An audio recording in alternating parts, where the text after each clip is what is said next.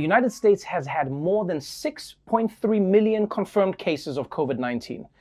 And while transmission rates have declined from their peak in July, there are still new hotspots popping up all over the country, most recently on newly reopened college campuses. Across the country, more universities temporarily switching to virtual learning, with only some students staying on campus, as college towns around the country are quickly becoming epicenters for the virus. In Georgia, Mississippi, and Utah, thousands of students and hundreds of teachers have recently been asked to quarantine. Many universities are taking drastic action to ensure that students, teachers, and staff that they're safe all along the way. And one of the harshest punishments imposed to date, 11 first-year students at Boston's North Northeastern University were dismissed and declined a refund for their 36,000 plus dollar tuition after crowding together in a hotel room.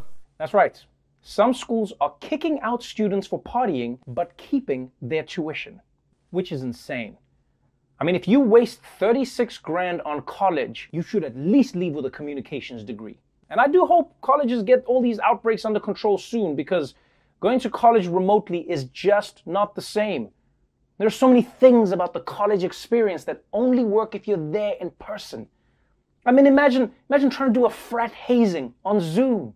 Now grab your bottle of hot sauce from your fridge and chug it. Uh, I don't have hot sauce, but I have apricot LaCroix. I can chug that. Yeah, you damn right you'll chug it. Get ready to feel refreshed, bitch. Anyway, uh, if you're a high school senior right now, there is only one thing you should be looking for when applying to colleges.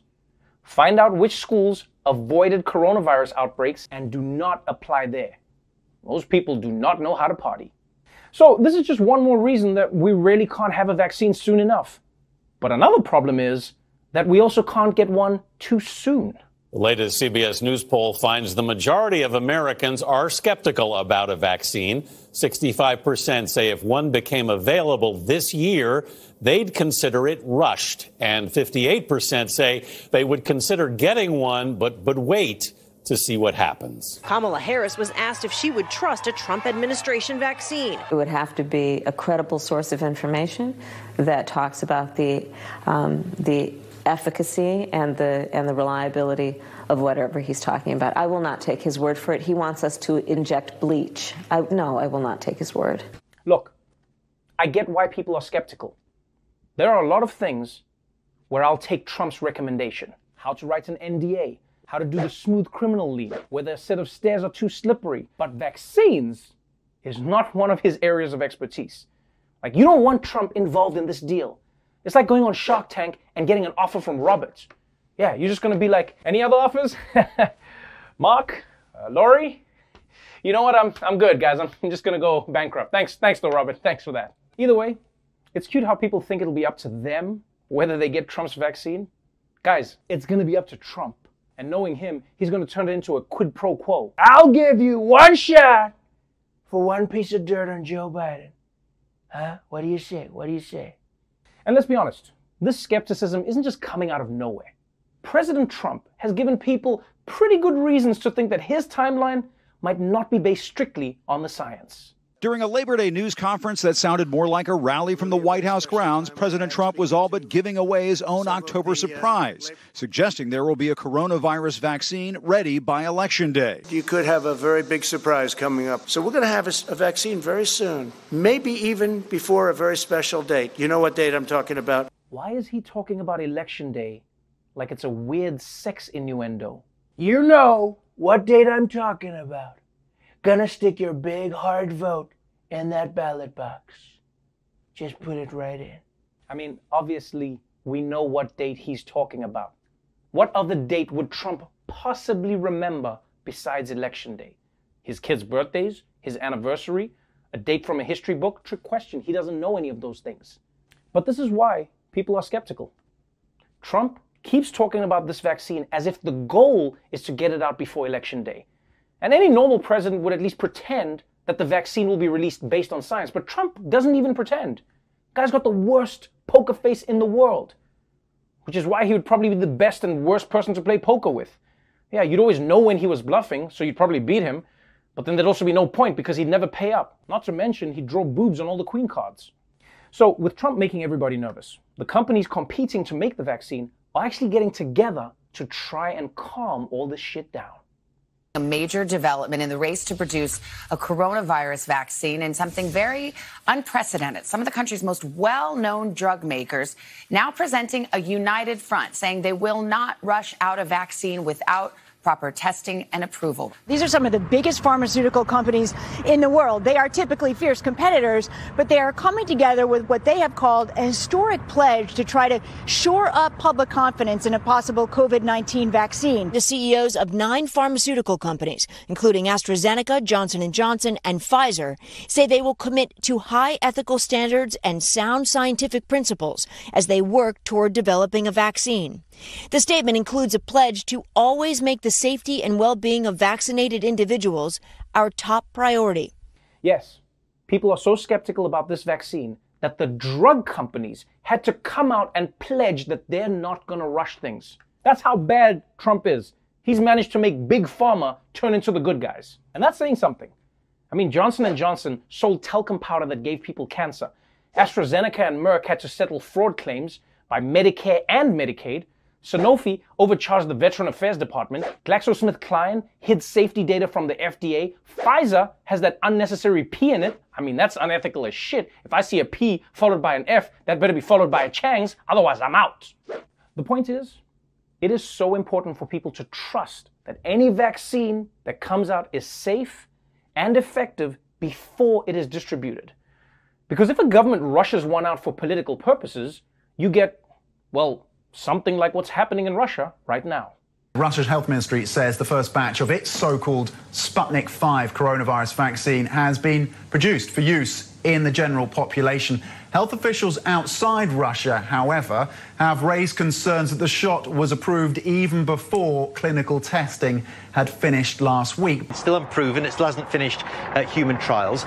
And as we found, it's still widely distrusted. It's been made available uh, to key frontline workers like doctors and teachers. But few, if any, of those Russian teachers have actually taken up the vaccination offer. Today, it is obvious for our scientists that this vaccine forms stable immune resistance. Antibodies appear in the blood, just like in the case of my daughter, and it is harmless. My daughter feels well. Yeah, guys, of course, Putin's daughter feels well. She knows the consequences if she doesn't. Hey, maybe we don't need a vaccine at all. We just need Putin to go around issuing veiled threats to anyone who thinks they've got COVID.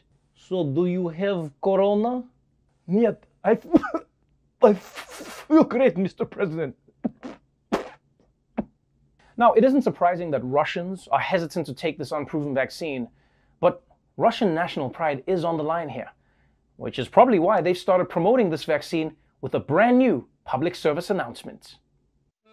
Are you tired of wearing masks? Are you sick of washing hands all day? Are you afraid COVID 19 will kill you before Putin has chance to? Then try Mother Russia's new COVID vaccine, Sputnik 5, developed by same scientists who brought nation many glorious gold medals. It is guaranteed safe and effective. How do we know? Because it was tested on a bear by a scientist who was also a bear. Then we did clinical trials with many prisoners, and the vaccine did not kill any of the ones who survived. And if you are coward afraid of needles, then don't worry. We will just slip it into your tea. Sputnik 5. Take now so you can enjoy last few weeks of Russian summer.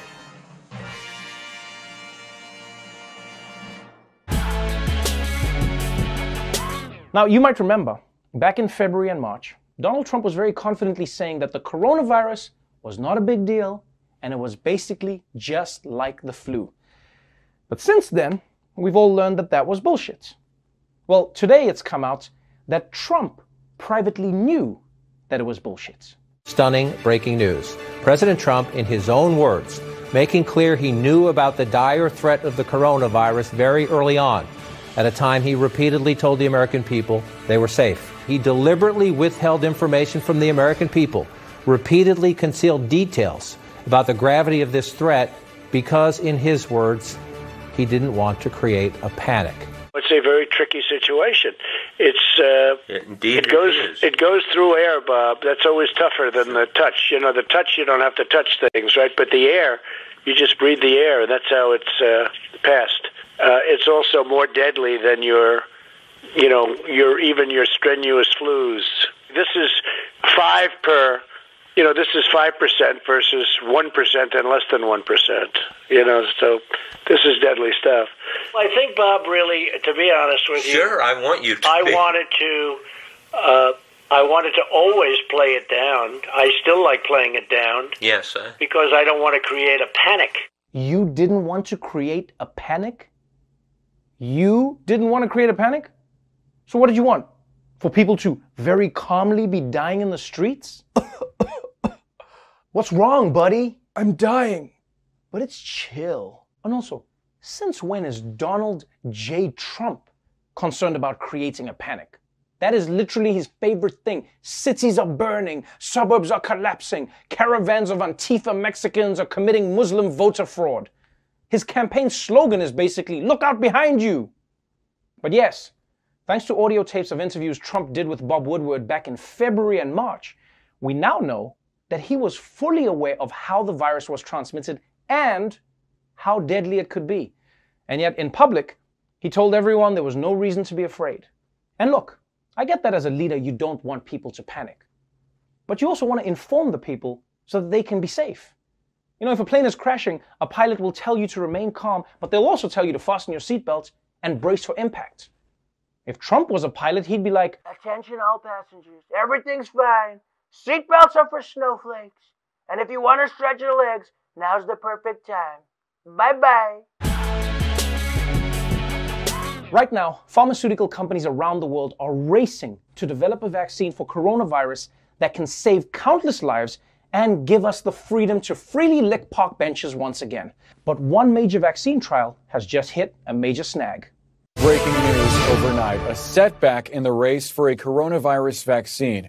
Pharmaceutical giant AstraZeneca pausing phase three of its global trials because of an unexplained illness in one of its volunteers. The company now has to determine whether its vaccine might cause widespread adverse reactions.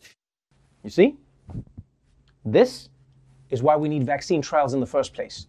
Because right now, one person in that trial has an unexplained illness, possibly from the prototype vaccine. But you realize if they just release this thing to the public without proper testing, we could all be out in the streets with random diseases and mutations. I mean, on the bright side, maybe some of us would develop that fireproof skin, but, but still. Now, the scientists still don't know yet whether the illness is related to the vaccine trial or not. But I think I know what happened. I think what happened was coronavirus got to the vaccine and said, look, man, whatever the humans are paying you, I'll pay double. And now we got to find a vaccine for the vaccine. Yeah, I read Facebook. I know what's going on. But let me just say that I'm incredibly grateful for all of these people who are injecting themselves with a vaccine without knowing whether it's safe because they're doing it for the rest of us. And in a way, I know how this feels. You know, it's the same way my family would make me drink the milk in the fridge to see whether or not it had gone bad. Spoiler alert, it was always bad. But until the vaccines are available, we just have to keep wearing masks and socially distancing as much as we can. Which is why in the UK, they've now decided that it's time for the British to party a little less hard. As Europe struggles with the surge in new coronavirus cases, the UK tightening restrictions. The government says social gatherings can include no more than six people instead of the previous 30 allowed. In England, from Monday, we're introducing the rule of six. You must not meet socially in groups of more than six, and if you do, you will be breaking the law. Yes, starting Monday in the UK, no more than six people can socialize at a time. Six. It's a very specific number. It almost makes me think that Boris Johnson has a seventh friend that he's trying to kick out of the circle of friends. I don't understand, Boris. Why can't I hang out with the gang? Well, you, you see, there were already six of us here, and, and scientists say that seven is COVID's favourite number. Well, what if I came early? Then I would just be the third person. Oh, no, you, you, you'll always be the seventh person, no matter what time you arrive. But look, these restrictions are better late than never. Because, man, those Brits can party hard. As someone who has spent quarantine binging all of the Great British Bake Off, I'm telling you now, those people are out of control. They put cocaine on everything. Here's what I don't get though. If they're worried about an outbreak in the UK, why wait until Monday to enforce this rule? Why not just tell people now to stop socializing in big groups? Because I know that if in four days I can't hang out with all my friends, well, I'll tell you what I'm doing for the next three nights.